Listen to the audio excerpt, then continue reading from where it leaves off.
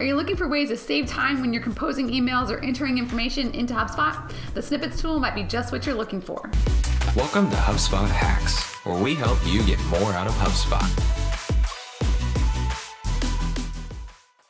The Snippets tool inside of HubSpot is this powerful little tool that a lot of people overlook because of its simplicity. Now, what it does is it allows you to create short codes or one or two words that allow you to expand the sentence so that you can fill things that you type repeatedly. So, these might be things like meeting note outlines, or perhaps closings on emails, or when someone asks about your pricing information, or even your address to your company. So, let's jump in and actually figure out what snippets are and how to use them as you use the HubSpot HubSpot platform. So inside of here, inside this HubSpot portal, we've got the snippets area pulled up and actually you're gonna find this under conversations and pull down snippets. That's where it's going to be found. So first of all, I'm going to show you what this looks like because we have snippets already set up in this system just to take a quick peek. So first of all, we've got a couple of things in here. My coworker set up a couple of snippets for notes, taking notes on calls. Um, so for instance, this is a connect call. And if I pull this open, you can see that we've got, this is the snippet text that he's got loaded. And this is actually actually an outline for taking notes. So when uh, we're on a call with a prospective client and we're, we're, we're going through this connect call um, procedure, um, we're simply going to that contact record inside of HubSpot, press pound, and then SaaS connect. So that's this that's what makes it expand, and then we automatically fill that. So I'll go ahead and show you what this looks like and put this into use. So I'm going to pull up a contact record that I have here, and I'm going to pull up some notes. So let's say I'm on that connect call and I'm going to type pound SaaS connect and then it's going to show me, oh, there's a snippet for that. If I select that, then it go ahead and it went ahead and populated all of the uh, text that was in that snippet to fill this text here and then I can go ahead and start taking notes directly on my phone call right here in HubSpot. So if I were to save that, again, let's assume that I put some more notes in here. I save that, it'll save just like it would a regular note, again, you add additional details as you need to, but it was a huge time saver and a way to create consistency in your sales process.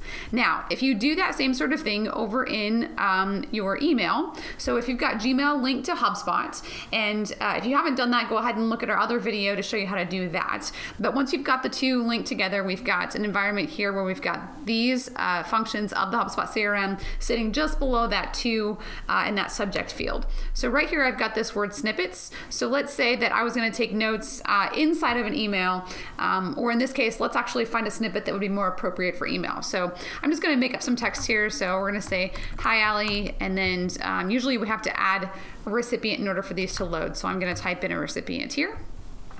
And let's say, Hi, Ali, great meeting you and then you know xyz content would go here. And let's say i wanted to always close this email or i close my email similarly every time. So to save myself time i might load a snippet and i've got an email closing snippet loaded here. So in this case in gmail you're not going to type the pound and then have it expand. In gmail you're actually going to select it from the snippet menu click on email closing and again this would pop up. And if I wanted to send as is I could. Otherwise again I could add some more context to this email.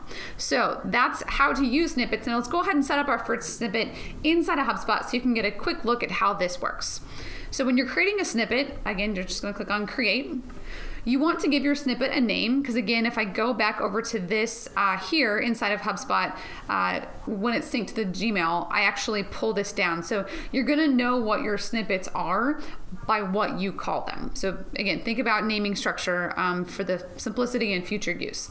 So this internal name, let's say um, someone always asks about your pricing, um, you know, for a particular product. So I'm gonna call this pricing product XYZ.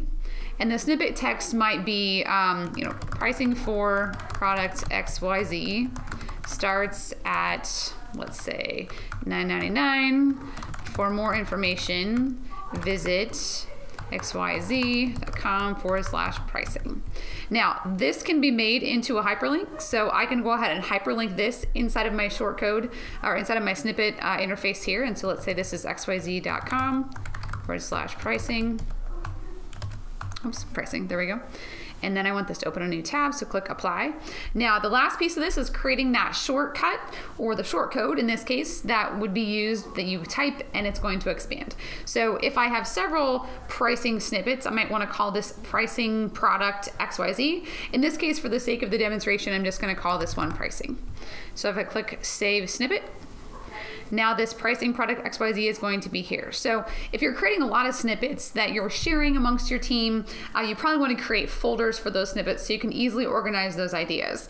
Uh, keep in mind snippets can also be used inside of the live chat bot uh, that you might have on your website that's linked to HubSpot as well. Again, makes those uh, those chats with website customers fairly straightforward if a lot of the same questions get asked in that chat interface as well. So if I go back to my email here and let's say again, um, this person asked about pricing and then I insert that pricing snippets. There we go. And it loads just like that. So one last tip, if you're using these snippets, you can also insert those custom properties that you would find inside of a HubSpot record.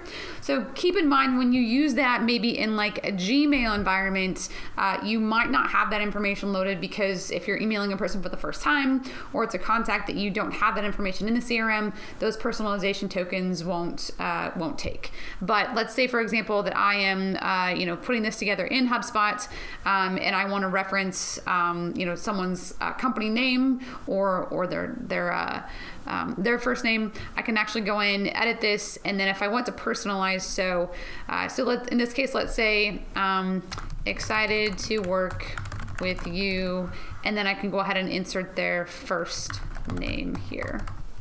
There we go. And then save.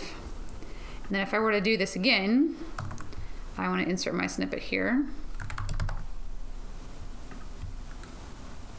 So I'm already loaded into HubSpot, so it went ahead and automatically found my record relative to HubSpot and inserted my first name.